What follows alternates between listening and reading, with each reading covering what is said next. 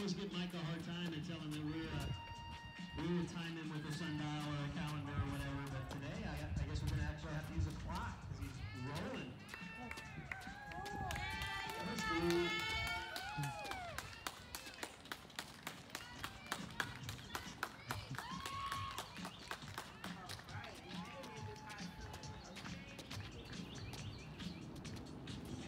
Good.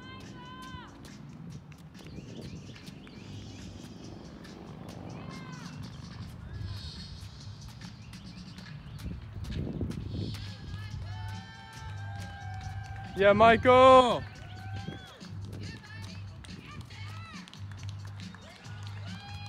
Let's go, buddy.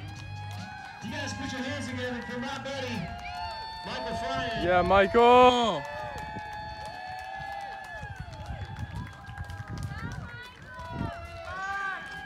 Nothing to it. Yeah, buddy. Congratulations,